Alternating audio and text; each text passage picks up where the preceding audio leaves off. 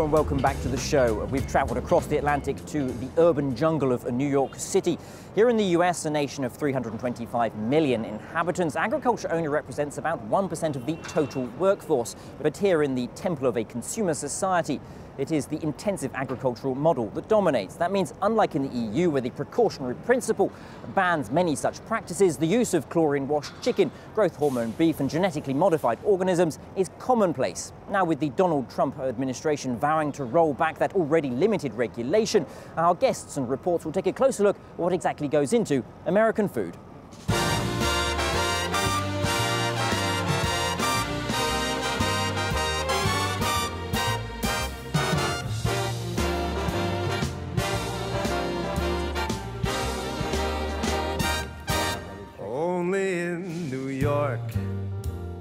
Come to uh, Central Park in central Manhattan uh, to talk a bit further about uh, food hygiene here in the US. And we're joined by uh, Michael Hansen of uh, the Consumer Reports magazine, the biggest uh, consumer protection magazine in the US. tell us more about the differences between food safety standards here in the US and in the EU. The main difference between the US and Europe is in how food is raised. There's a much more industrial style uh, food uh, uh, production here. So that means animals that are fed all sorts of antibiotics. There's uh, hormones. Europe doesn't allow any use of drugs for growth promotion purposes. It's considered unethical to give a drug to an animal except to treat disease. Here, the vast majority of antibiotics that are given to animals are for growth promotion and what's called disease uh, prevention. So you're eating chicken, and I've got a, a beef hot dog. Uh, what kind of risks are, U.S. consumers running when they when they consume just typical U.S. Uh, food? Well, with typical U.S. food uh, that's industrially raised like this, one of the big problems is the use of antibiotics, and that leads to antibiotic resistant bacteria. You're looking at a potential uh, nightmare where no antibiotics. You could get a simple infection and no antibiotic would treat it. Would you say over the, the years that you've been following the situation, have there been improvements? Uh... If I take the, over the long term, there's been this drastic expansion in GMOs. And they were sold to us as, oh, we'll be able to produce more nutritious crops and we'll be able to feed people. And when you look at it, 30 years later, there is no increase in yield that is due to GMOs. They don't make food more nutritious. They basically enable us to use a lot more pesticides, glyphosate. So 94% of all the soybeans in the um, US are glyphosate tolerant. 89% of the corn has glyphosate tolerance. So all it is is these uh, GMOs are just a way to sell a lot more uh, pesticides and in particular glyphosate. Back in 2011, uh, Barack Obama passed the Food Safety and Modernization Act. What's the future for food safety well, under the Trump administration? Any sort of forward movement that there was on food safety looks like it's going to stall because who the Trump administration is putting into place to be heads of agencies and where they're getting those people is from the industry that was regulated. So the priority here in the US is, is, is what? It's consumer safety or it's, it's the safety of big businesses? Particularly under the Trump administration, it's more the interests of the large corporations and not the safety of uh, consumers. It, it was a little bit better under Obama, but that was only because he was being pushed.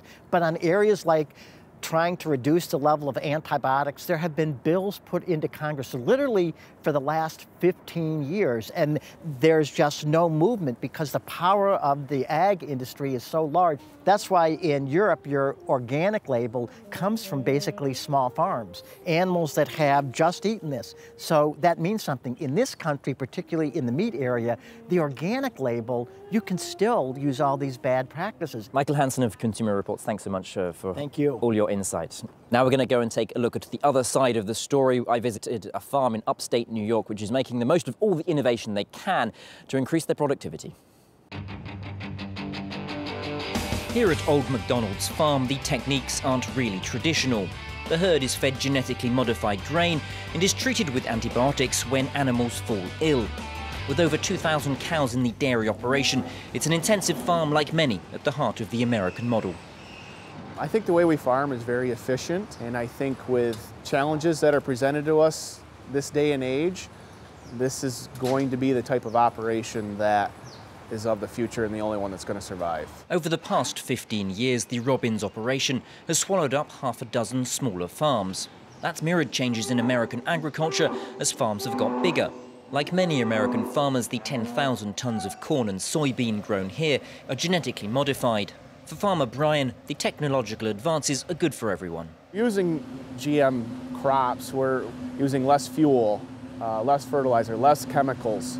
Um, it's, it's really a, a, lot less inputs that we all view as, as potentially harmful to the environment. It's essential that we have access to this type of technology. And I believe if we didn't have it, we would not be able to feed hardly any of our population today. I think it's the only way of the future. Since hitting the markets 20 years ago, transgenic GMOs now represent 90% of some American crops. At places like Cornell University, researchers are working on a new cutting edge in genetical modification. This next generation is known as gene editing. It's called CRISPR technology, and it allows scientists to target specific elements of a crop's genetic makeup, opening up a whole new range of options. With CRISPR, you can actually make very specific changes. We are essentially not limited by what we can do to improve the plant. So we can change a number of characteristics. We can improve yield, we can improve disease resistance, we can improve taste, we can improve color, we can do a lot of things to different plants now. GMO 2.0 is not just about improving the product's flavor. Unlike transgenics, the new technology only swaps genes within a single species. For its proponents, it can help meet the demands of a growing population. By 2050, it's expected that wheat production has to increase by 50%. We're not going to be able to do that at the current rate of increase in yield, which is about 1% increase per year through traditional breeding we're just not going to make it. So we have to be open to these other technologies. The future of intensive agriculture may have already arrived in New Jersey. Just a short drive from Manhattan, in these nondescript hangars, is a vertical farm. In the past decade, the company AeroFarms has perfected these towers of leafy greens. By bringing food production closer to cities, it helps reduce transport costs and creates jobs. One we looked at an area historically high unemployment. So how do we create jobs? How do we create more economic development? We also looked at it as an area, it's a food desert, so meaning access to fresh food is very limited.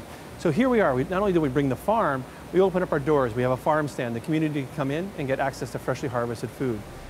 Vertical farms can control every element of the crop's environment. They use 95% less water, zero pesticides, and can grow a lettuce almost four times faster than outdoors a potential game changer in the race to increase productivity. This is a way of growing that changes the equation because of our year-round productivity, because of the vertical nature, because of our faster growing cycle, and also because there's no weeds. This is a way of growing that's 390 times more productive than the field farm.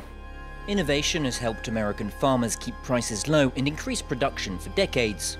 Agriculture in the US is likely to remain dependent on science and technology to ensure it can feed a growing population.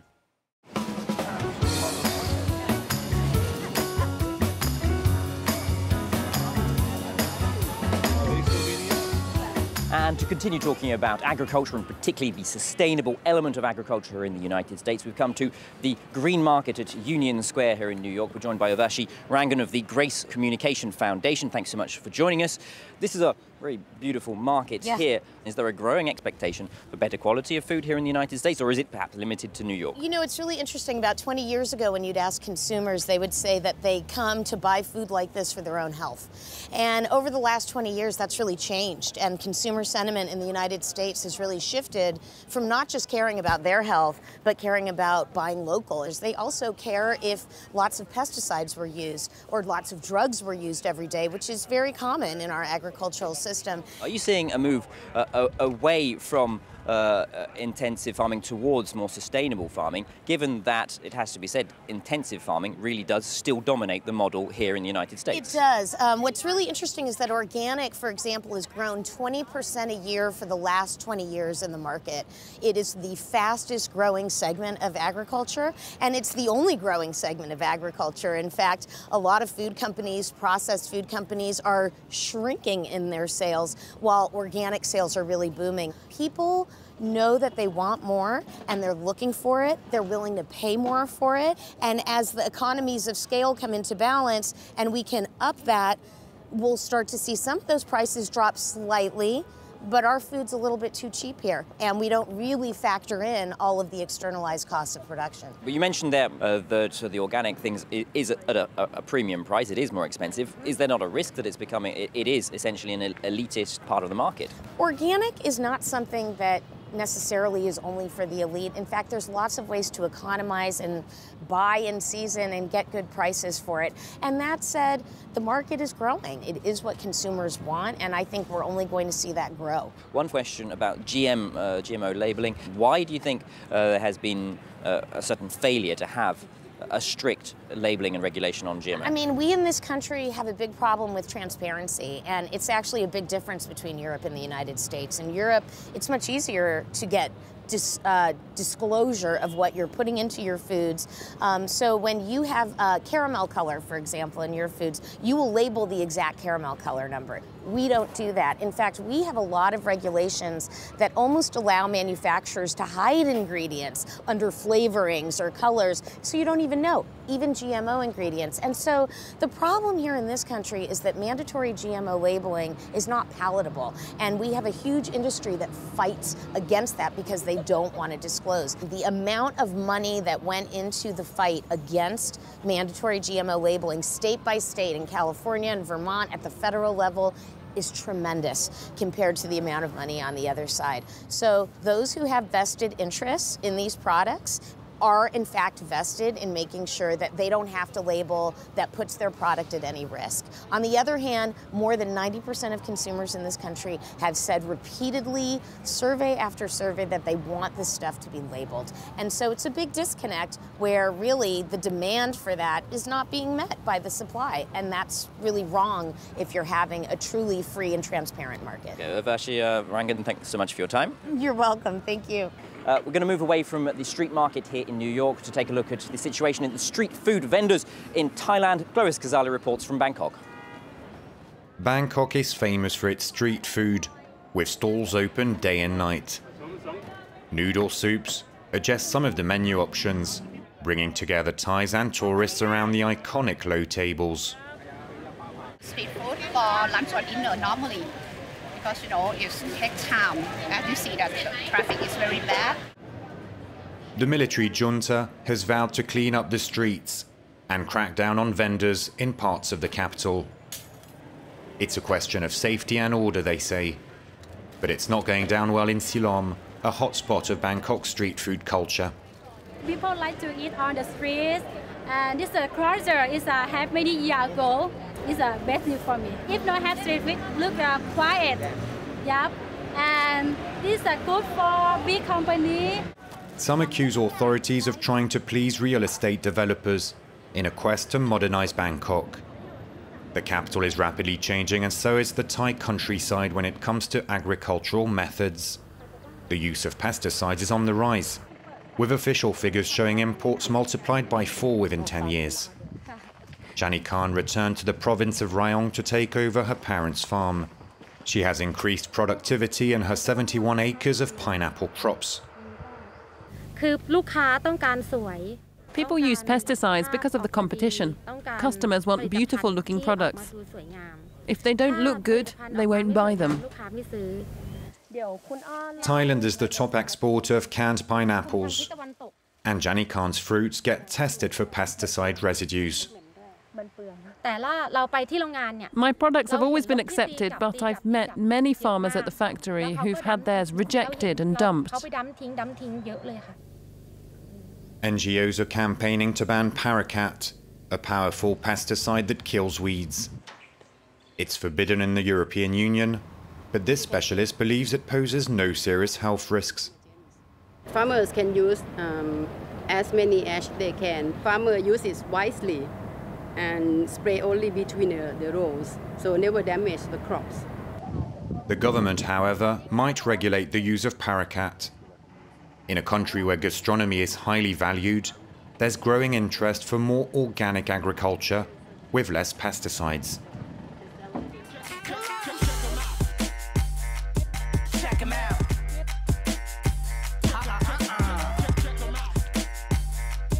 Going to talk now about agriculture here in New York itself. We're joined by Melissa Metrick uh, of New York University. Thanks for, so much for joining us. Thank you. Uh, now, you're growing uh, produce here. What kind of role in the future is urban agriculture going to have in New York and perhaps in other cities in, in, in the US? The main role is just educating people about about agricultural practices, about seasonality, and sharing that knowledge because that knowledge is also dying. This cultural knowledge of how to grow food um, is being lost. It's a way to connect people closer to their food system. Do you think that's important, uh, making sure that people are connected with their food, knowing where it comes from? People have become disconnected where they don't know where their food comes from.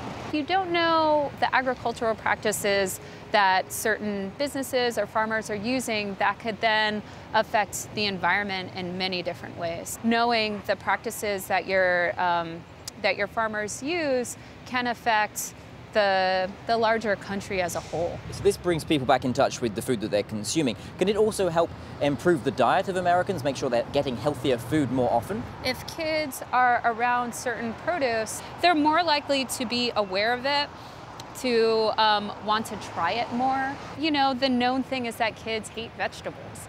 But if you actually have them out here growing it, getting used to it, harvesting it, sowing it, they're so much more active in the process. They're they're gonna want to eat it more. They're literally going to want to like harvest the fruits that they grow.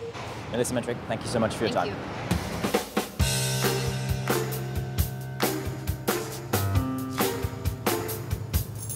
That's all we've got time for in this special edition of the show from New York. We do hope you've enjoyed it. From myself and all of the team, goodbye.